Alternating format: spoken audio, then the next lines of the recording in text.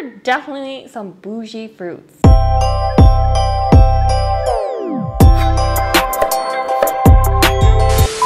Hi guys, welcome to another SooChef Vlogmas Day 8. I hope you will enjoy today's video. We are doing a hot pot at home kind of meal.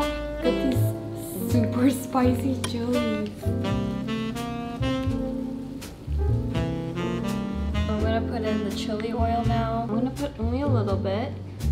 Don't need that much oil. It's mm-hmm. very fragrant. It's filling the room with its aroma. Let me take a sip of this broth. Mm-hmm.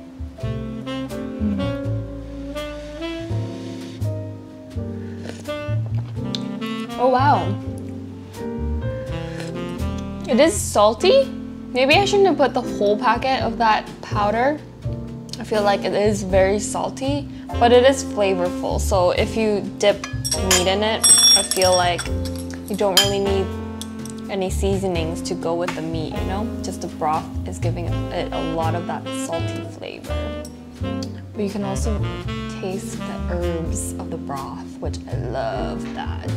I still would rather eat this at home than go out and pay $30. That broth is bomb.com.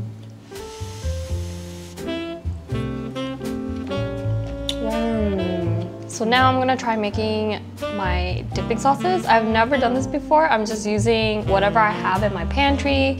So my first pick is a yuzu ponzu because the broth is really salty. It's very salty. So I'm gonna counteract it with some yuzu, ponzu, and more of this beshi syrup, which I've been literally loving. It's like a magic potion. Just a little bit as well some sesame seeds. I have no idea what I just made. Simple. Not bad, not bad. Next I actually really want to, but I'm scared to. Intimidated by peanut butter. So I'm just gonna try, see what I can concoct. in sesame oil. Mmm, oh I love the smell of sesame oil very rich already, right? Because we have the sesame oil, the peanut butter, and I'm gonna add some more yuzu ponzu. Mix, mix, mix, mix, mix, mix, mix, mix, mix. Mm, yeah, the yuzu ponzu is very overpowering the peanut butter. Take a bit more peanut butter. Mmm, that did it! I just wanted to show you guys the inside of this fish ball because it's just so intriguing. Only by the way, that's you. You're touching me right now. I love the texture. I'm all about texture when I eat, right? That's what it looks like inside. It's fish eggs, salted fish eggs. Mm. The end. It was really fun to do this at home and hassle-free. All I had to do was prep the veggies. I like the broth. I would just say it is salty, so I would add in less of that powder. I am so glad we did this at home today. So dinner is served. Guys, I have a surprise. Wait until you see what my dessert is going to be. I'm so excited to show you guys. I'm gonna get the Korean Shine Muscat grapes, which goes for, oh my god. Is there a cheaper one? Oh no, they're all $23.99. This one. Okay, you are coming home with me today, okay? All right, take a sit here comfortably. Okay, okay? Okay, let's go. Okay, baby, let's go home. You're home. Okay, you're still cold. You're still alive. Good, good. Okay.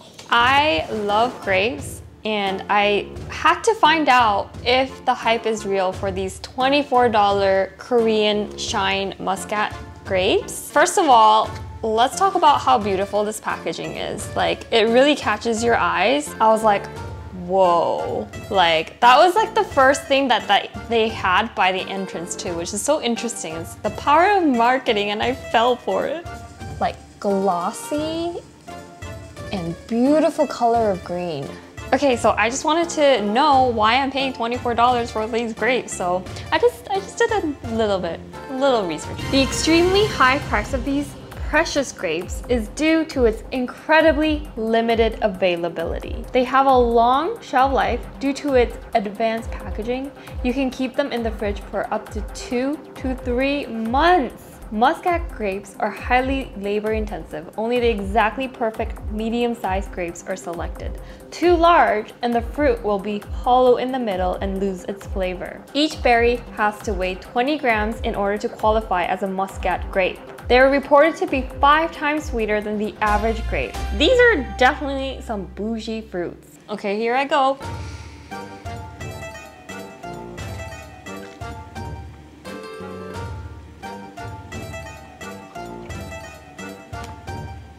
I feel like if I close my eyes, I'm really focusing on this taste.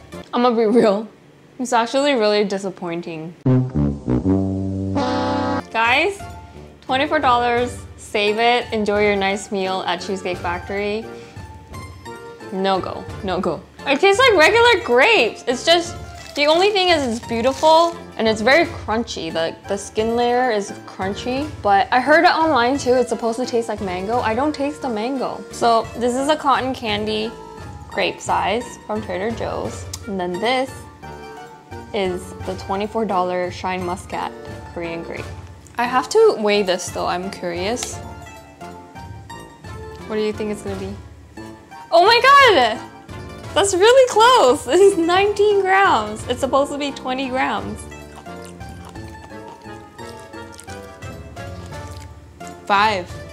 Not worth the $24 in my opinion. I would rather stick to the cotton candy if you want to treat yourself. This superfruit for me, not worth it. If you guys have any other hype foods that you want me to try, let me know down in the comment section below or Instagram. So tomorrow is very exciting for me because I got invited for a tasting in a restaurant in K-Town. So I'm really excited. I hope it is good. I can't wait to take you guys along with me and I will see you tomorrow. Good night.